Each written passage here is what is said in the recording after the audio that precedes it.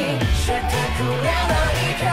Hola, soy Bash. Y hola amigos, bienvenidos una vez más a nuestro canal. Y bueno, el día de hoy, como ya es costumbre en el canal, les traigo un nuevo video de Jujutsu Kaisen. Y así es, en esta ocasión, como podrán ver en el título del video Estaremos hablando sobre posibles secuelas o continuación de alguna manera de Jujutsu Kaisen. Ya que uno de los comentarios más recurrentes una vez que se anunció el final de esta historia Es que parecía bastante apresurado, sobre todo por el gran universo que Jeje ha creado. Y es que directamente existe demasiado potencial para muchísimas historias. Es por eso que una de las preguntas más recurrentes es que si creo que podría existir una secuela o un spin-off de Jujutsu Kaisen. Y si les soy honesto, yo creo que sí, sin problema podríamos tener un Jujutsu Kaisen Shippuden. Pero bueno, en este video estaremos hablando sobre toda esta situación, además de mencionar las posibilidades que creo que tendrían más fuerza para una posible secuela o spin-off de Jujutsu Kaisen. Y bueno, ya con todo esto dicho, ahora sí, sin nada más por añadir, comencemos una vez. Y bueno, primero que nada quiero mencionar que había salido una noticia en la cual supuestamente Jeje no quería secuelas o spin-off, pero honestamente al leer la entrevista él no dijo nada al respecto, simplemente confirmó que Shinjuku sería el final de Jujutsu Kaisen, aunque también ese podría ser el inicio de Jujutsu Kaisen Shippuden. Y bueno, hablando de manera general en cuanto a la Jump, yo creo que ellos estarían encantados de tener una continuación de Jujutsu, sobre todo por el hecho de que están desesperados, así es, como sabemos, varios de los grandes shonen se están terminando, obviamente sabemos que One Piece nunca terminará, pero bueno, el resto sí termina tarde o temprano. Y esta situación se ha hecho mucho más clara una vez que observamos el concurso que sacó la Jump con la necesidad de encontrar un nuevo shonen de peleas, ya que sí parece ser que con la finalización de varios de estos, la necesidad de un nuevo shonen de peleas es muy grande. Y obviamente si es que Jeje llegara a proponer continuar Jujutsu Kaisen de alguna forma, creo que lo aceptarían encantados. Y bueno, ahora sí una vez dejado esto en claro, vamos a hablar acerca de las posibilidades. Y yo creo que primero vamos a comenzar con uno de los spin-off más claros y que más hemos pedido. Así es el spin-off de la era Heian. Sin duda alguna, creo que muchos de los fans nos hemos dado cuenta que esta era tiene muchísimo potencial como para lograr tener su propio spin-off. Y si se preguntan por qué, es porque básicamente esta era fue nombrada por el propio Jeje como la era dorada de la hechicería. Así es el momento de la historia donde las batallas más impresionantes ocurrieron, además de que también la hechicería comenzó su desarrollo descubriendo una gran cantidad de técnicas que se conocen hasta la actualidad y claramente una época como esa sería espectacular que pudiéramos observarla de la mano de un spin-off. Y bueno, directamente la idea general de estos sería tener a Sukuna como protagonista y es que hay muchísimas razones para ello. Número uno, que sabemos que Jeje ama a Sukuna, por lo que creo que estaría encantado en que su nueva historia se enfocara en él. Por otro lado, también algo que nos ha llamado mucho la atención a todos es que a pesar de que Sukuna se colocó como el más grande villano de Jujutsu Kaisen, Jeje no quiso mostrarnos su pasado, es decir, conocemos algunos acontecimientos al respecto, pero honestamente no tenemos la información. Y no es que podamos interpretarlo de alguna manera, es que directamente hay muchísimas cosas que no se nos dijeron acerca de su cuna, y sin duda algunas sería extremadamente interesante que pudiéramos conocer de mejor forma cuál es el pasado y las motivaciones de su cuna, ya que honestamente si lo dejamos como está ahora, básicamente su cuna sería malo porque sí, y a pesar de que sí pueden existir villanos de ese estilo, honestamente a mí nunca me han gustado y no me gustaría que Sukuna fuera uno de ellos, y es que directamente explorar la historia de Sukuna nos daría muchos acontecimientos importantes, como comenté en un principio el porqué de sus motivaciones, de hecho en este punto todavía no tengo muy claro qué es lo que quería Sukuna, solo caos y destrucción, demostrar que él es el más fuerte o encontrar a un rival digno, honestamente las acciones de Sukuna son algo confusas y directamente mostrar un pasado podría ayudar a resolver todo este asunto, además algo que también Sukuna demostró mostró en su batalla contra los hechiceros es que directamente él evoluciona conforme combate, por lo que sería muy interesante que pudiéramos ver esto en un spin-off, es decir, cómo es que Sukuna fue creciendo, ya que puedo comprender que Sukuna tenía un enorme potencial para la hechicería desde el momento de su nacimiento, pero tampoco creo que lo supiera todo desde el día que nació, supongo que él tuvo que ir aprendiendo poco a poco, tal vez tuvo algún tipo de maestro o por otro lado simplemente fue aprendiendo gracias a la experiencia en diferentes combates, y es que si esto fue así podríamos tener un camino de Sukuna enfrentándose a diferentes rivales cada vez más poderosos y aprendiendo de ellos, hasta el momento en el que alcanzó el título del Rey de las Maldiciones, siendo una amenaza que prácticamente nadie podía enfrentar, y que directamente incluso los hechiceros comenzaron a desarrollar técnicas y estrategias para derribarlo. La verdad es que esta historia tiene mucho potencial en ese aspecto, y es que también uno de los problemas que comentamos en directo con respecto a un posible spin-off es que si Sukuna fuera el que conocemos actualmente, pues básicamente no habría ninguna pelea interesante, porque Sukuna tendría el potencial para masacrar a todos, pero como lo menciono, tal vez Sukuna fue creciendo poco a poco a lo largo de su historia. Imagínense que es algo así como Garou, es decir, que a pesar de que en algunas batallas quedaba completamente destrozado, poco a poco fue evolucionando hasta alcanzar el nivel que conocemos actualmente. La verdad es que eso es algo que me encantaría ver. Por otro lado, también hablando precisamente de estas batallas interesantes, sabemos que de alguna manera existió una rivalidad entre Ángel y Sukuna, al cual incluso se le llamó el Caído. La verdad es que todo esto no quedó aclarado, el por qué se le llegó a llamar el Caído, además si realmente Ángel pudo ser un rival para Sukuna, y es que habría sido muy interesante ver un combate real de estos dos, ya que sabemos que básicamente Hana fue un nerfeo total para Ángel, del cual nunca pudimos ver su verdadero potencial, además de que también hay que recordar que en la era Heian existieron dos familias extremadamente poderosas, siendo el clan Sugawara y Fujiwara, los cuales formaron clanes legendarios que en múltiples ocasiones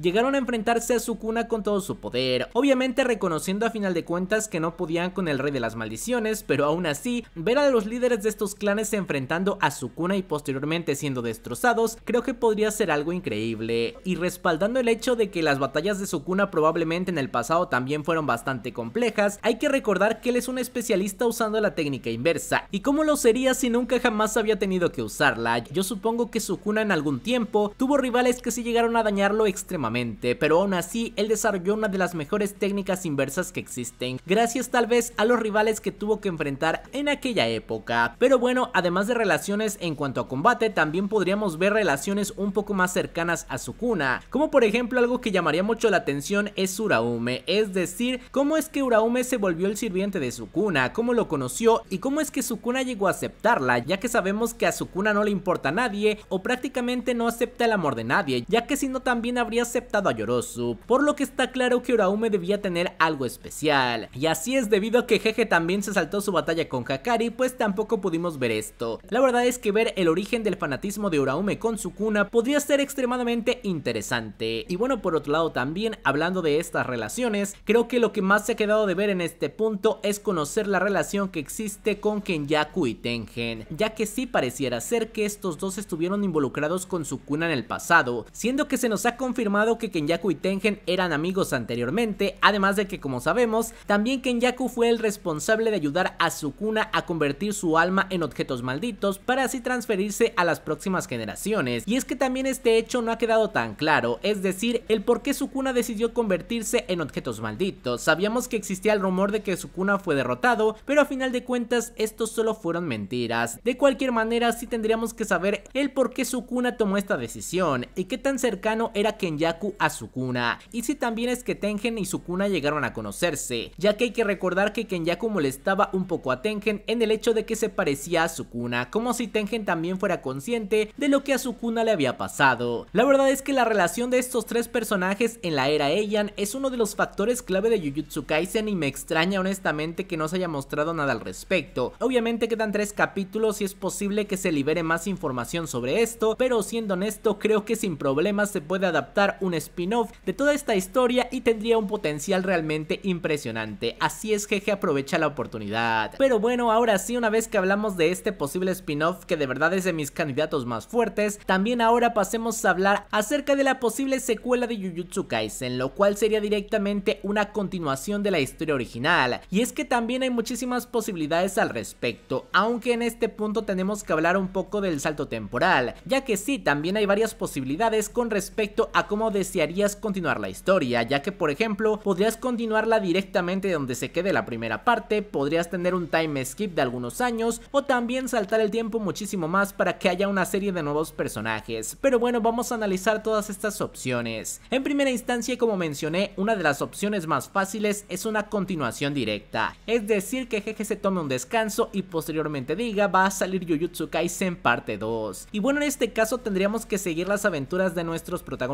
que ya conocemos, tal vez con algún pequeño salto temporal, pero todavía siguiendo su vida de estudiantes, tal vez de segundo o de tercer año. Y es que hay que recordar que directamente parece ser que al final de Jujutsu Kaisen se estará formando un nuevo mundo de la hechicería, con nuevos líderes y nuevas condiciones, y básicamente esta segunda parte tendría que mostrarnos cómo estos nuevos líderes se adaptan al nuevo mundo creado tras la desaparición de Gojo, Kenyaku, Sukuna y Tengen. La verdad es que sin duda estabilizar todo este mundo podría ser una problemática interesante, ya que hay que recordar que en Jujutsu Kaisen normalmente siempre se busca el equilibrio, y el hecho de haber eliminado a Sukuna, el rey de las maldiciones, y también a Tengen, aquel que mantenía las barreras en Japón, sin duda alguna podría traer una gran cantidad de cambios. Tal vez ante la muerte de Sukuna, una nueva maldición comience a generarse, para suplir la oscuridad que dejó vacante Sukuna. También algo que se me hace muy interesante es que tal vez debido a que el poder de la hechicería creció en demasía, es decir, ahora tendríamos a muchísimos personajes de grado especial y de alto calibre, tal vez las maldiciones también comenzaran a aumentar su poder. Imagínense que tuviéramos un efecto One Punch Man, en el que las maldiciones comienzan a surgir cada vez más rápido y cada vez siendo más poderosas. De esta manera también en esta segunda parte se podría abordar la temática de las maldiciones que fue planteada en Jujutsu Kaisen pero que no creo que lleguemos a una resolución. Y esto es el cómo eliminas las maldiciones de manera definitiva, ya que sí tanto Yuki como Geto tenían una solución, pero a final de cuentas ninguno de ellos pudo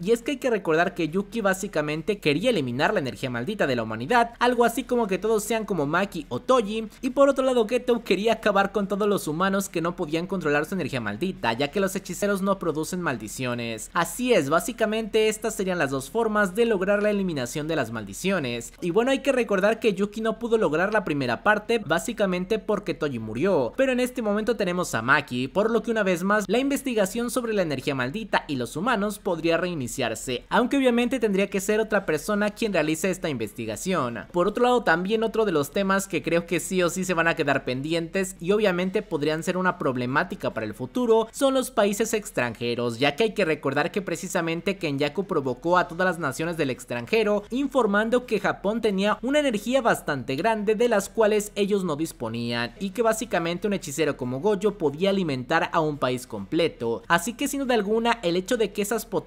conozcan acerca de la energía maldita y también que no hayan podido lograr nada en su ataque siendo que realmente perdieron a todos sus soldados, no creo que esos países se queden con los brazos cruzados, por lo que a final de cuentas un ataque posterior de esos países a Japón comenzando una especie de guerra por la hechicería también es una opción bastante interesante. Y es que hay que recordar que la razón por la que Japón es especial con respecto a otros países es básicamente por las barreras de Tengen, pero si es que los otros países logran replicar algo similar a las barreras de Tengen, también ellos podrían ir aumentando su energía maldita y crear maldiciones poderosas. La verdad es que una amenaza del extranjero podría ser bastante viable. Obviamente otra de las tramas que también podrían involucrarse en este punto es que tengamos a nuevos alumnos de primer año, como dije tal vez Yuji y los demás ya sean de segundo o de tercero, pero ver a nuevos alumnos integrarse a la escuela podría ser genial, ya que ahora nuestros protas tendrían que actuar como senpais y dirigir a esta nueva generación tal como Goyo lo hizo en su momento. Y hablando precisamente de nuestros protas, es decir Yuji, Megumi, Nobara y los demás, algo que también sería muy interesante de ver sobre todo del lado de Yuji y Megumi es que pudiéramos verlos en su prime. Y es que lamento decir que parece ser que no lograremos ver cuál es el máximo potencial de estos dos personajes, debido a que en primera instancia sabemos que Yuji prácticamente podría convertirse en un Sukuna 2.0, teniendo un potencial realmente impresionante para las técnicas malditas, desplegando un dominio prácticamente a la primera, así que sin duda alguna Yuji podría convertirse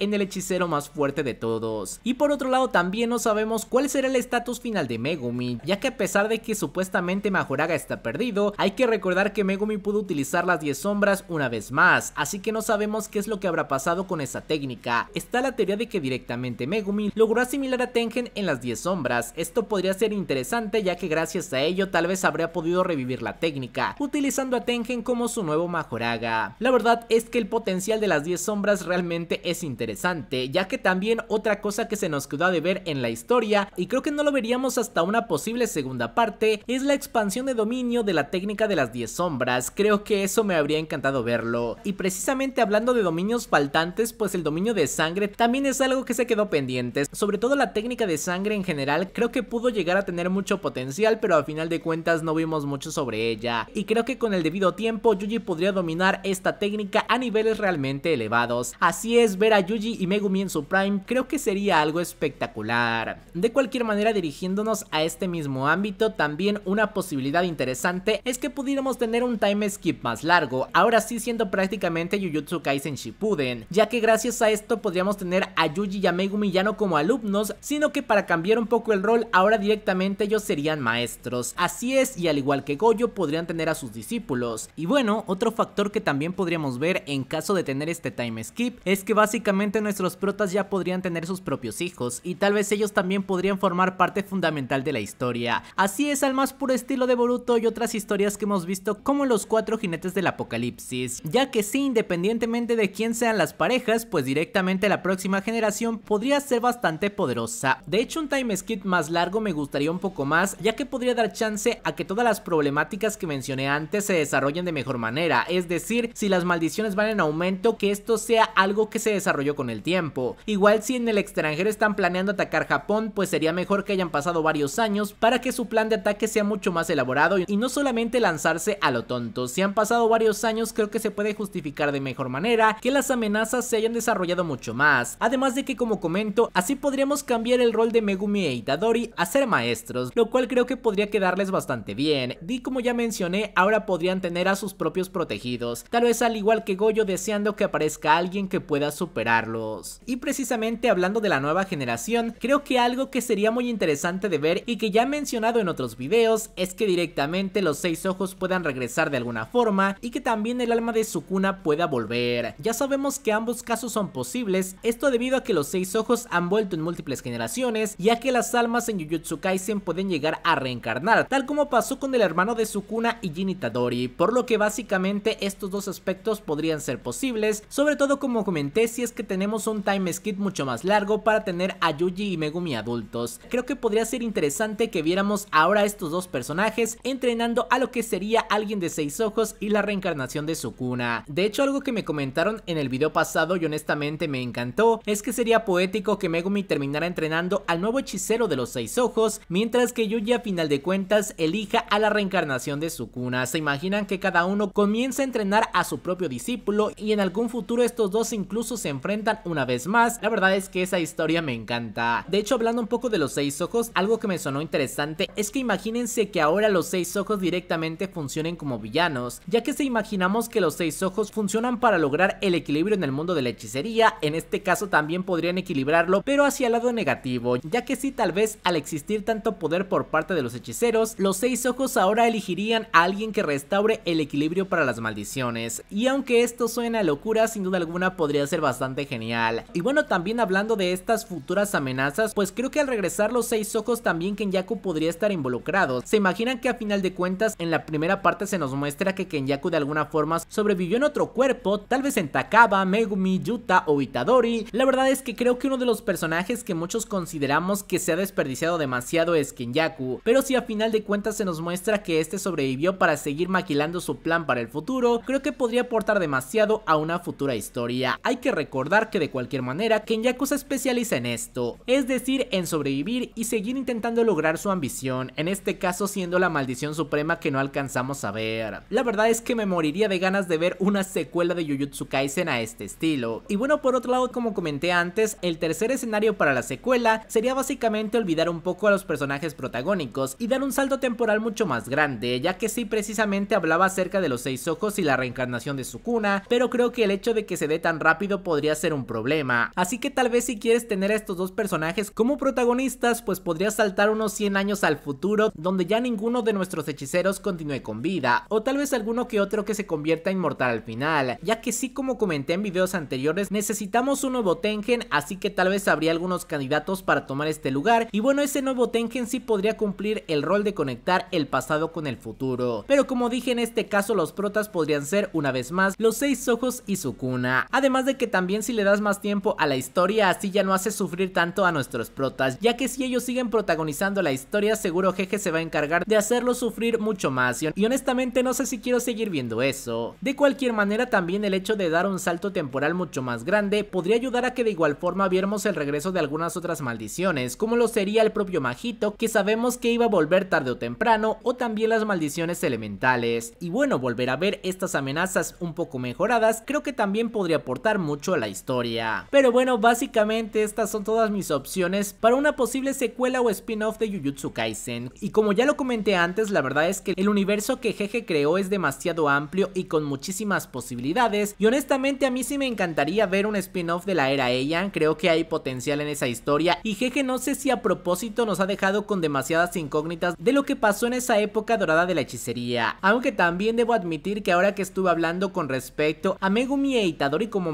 maestros me encantó la idea. Creo que podría ser muy interesante un Jujutsu Kaisen Shippuden. Y como mencioné creo que me gusta un poco más el time skip largo donde veamos a Yuji y Megumi ya más adultos en su prime. Algo así como conocimos a Goyo en este punto. Creo que podría ser algo brutal. Se imaginan que como mencioné antes Yuji llega a cumplir la promesa a Majito y lo destruye otra vez a pesar de que este ha renacido. Creo que eso sería increíble. Pero bueno ahora sí de esta manera hemos terminado con el video. Me encantaría que me dejen sus opiniones en los comentarios. ¿Les gustaría una secuela de Jujutsu Kaisen tras el final? Obviamente falta ver qué es lo que nos deparan estos últimos tres episodios, pero aún así creo que el potencial todavía sigue bastante latente. Y vamos a ver qué es lo que Jeje decide hacer. De cualquier manera, ahora sí hemos terminado con el video y antes de despedirme quiero agradecer a todos los miembros del canal que siempre nos están apoyando. Y muchas gracias a Roland, Lucas Campodonico, 089, Maxi de Beyonderlauti, Ayrton Peralta, Gonzalo Salazar, Gustavo El y Sebastián Betancourt. Y ahora sí, sin nada más por añadir, adiós.